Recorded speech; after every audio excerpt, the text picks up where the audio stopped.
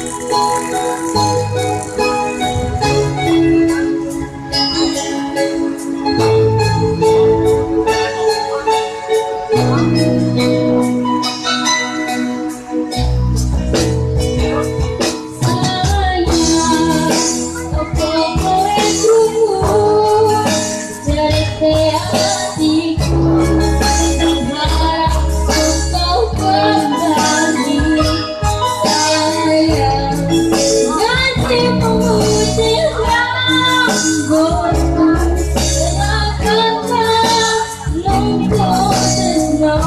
I'm gonna